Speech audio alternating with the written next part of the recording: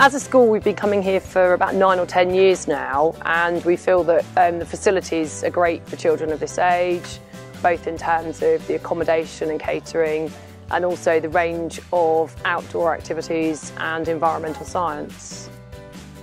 Uh, the booking process is excellent. We have a rolling programme where we uh, book for up to about five years in advance and the team here in the office liaise with our admin team back at school, making it effortless.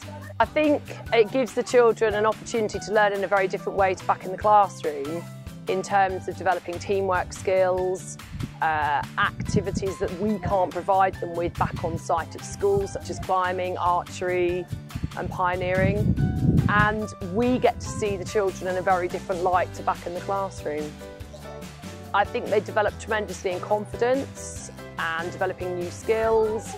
And for those children that perhaps aren't quite so academic, they often shine when we bring them out and do outdoor activities um, on site at Avon Tyrrell. My favourite activity has been the climbing because when you're actually climbing, you have to find all these different grips and places to put your feet on and hands.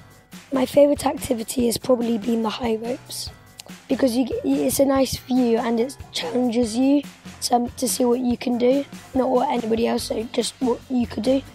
My favourite activity is probably the archery because we get we got to learn all the technical stuff as well as having competitions and games and just all round fun.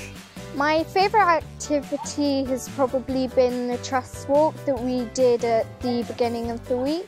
It sort of brought the group together and I thought it was quite nice to do that at the start.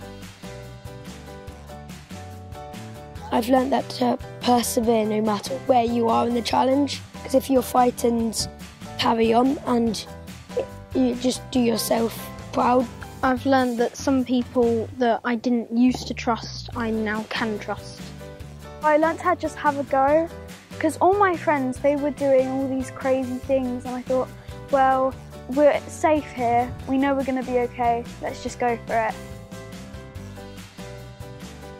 Yes, I most definitely would come back to Avon Tyrrell in the future.